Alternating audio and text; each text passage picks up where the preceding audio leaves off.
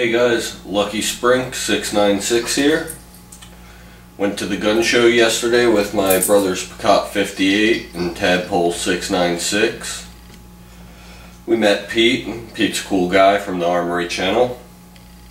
Saw him for about a half an hour, hour, walked around, checked out the gun show.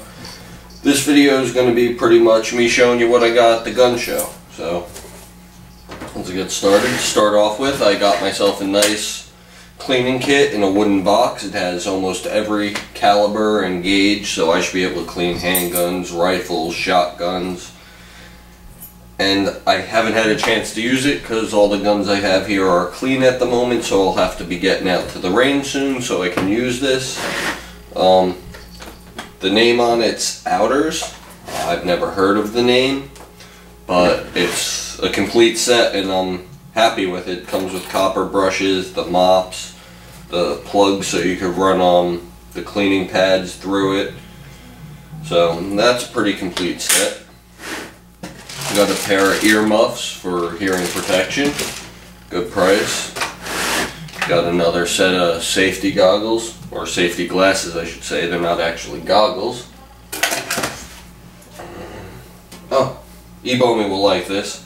Got myself one of the 50 caliber bottle openers. This is to you, Ebomey.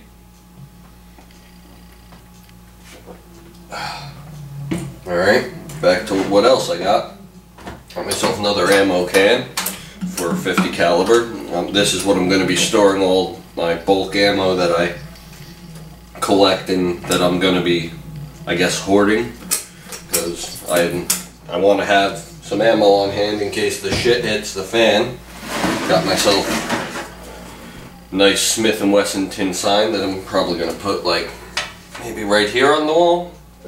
Either here or above this sign. I haven't decided yet. I think I'm going to go next to it though. I got my wife a gift while I was there. It's a nice little knife. So she, she thinks it's pretty, so it's good. It kept her happy. Made an excuse for me to get all this other stuff for myself, so she's happy with her new knife. Um, not really sure what brand it is, but I just like the way it feels. Gotta sharpen it up a little bit though. And pretty much lastly I got a few zombie targets. Oh. Okay, come on. Pretty much the zombie pizza man.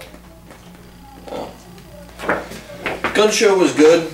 It was out in Oaks, PA. I think it had 700 tables. And it was pretty much um, a good gun show. It was the first gun show I went to where I actually needed stuff. So it worked out. Didn't get any ammo because I really wasn't there for ammo. Went out to Dick's Sporting Goods today. They didn't have any really 40 caliber ammo. The only thing they had was blazers which is steel cased and my range doesn't let us use steel cased and you can't reload it so why would I use it um, so I wasn't too impressed with um, Dick's Sporting Goods because they don't even carry handguns they can't carry handguns or anything like that um, that was pretty much it it was a good gun show though all this stuff ran me about a hundred bucks cleaning kit was the most expensive but I'm happy with the haul I got, and wife likes her knife, so.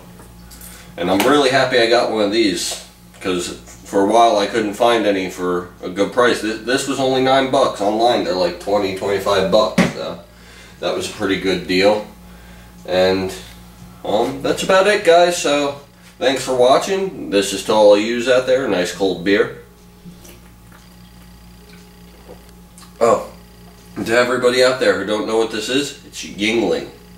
I know out in Minnesota, Ebomey's liquor store didn't have this. They asked me, what's Yuengling? It's America's oldest brewery. I figured everyone in America would know what Yuengling was, so... Anyone who can find this, Yuengling's a pretty good fucking beer. So try it out and take easy, guys, and be safe.